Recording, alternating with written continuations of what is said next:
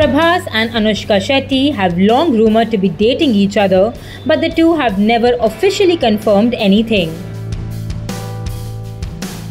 In the latest, some AI generated images of the Baahubali pair have gone viral on social media, which showed them as a married couple and also as parents of a little baby.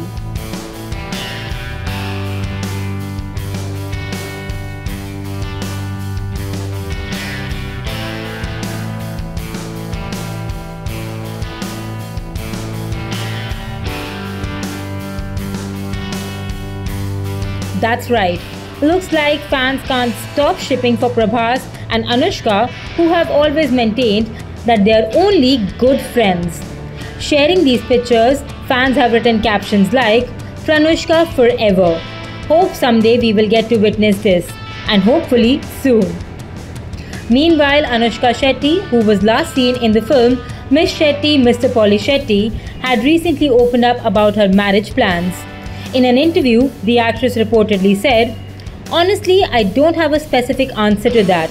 I'd like it to happen organically and at the right time. Marriage is something that will occur when it's meant to, and I believe it has its own timing. When Anushka was asked about pairing up with Prabhas again for a film, she reportedly said, That decision isn't in my hands. While I know that fans love our pairing, it ultimately depends on a great story and vision. I hope someone writes a compelling script and character that both Prabhas and I find appealing. For more news and updates, stay tuned to eTimes.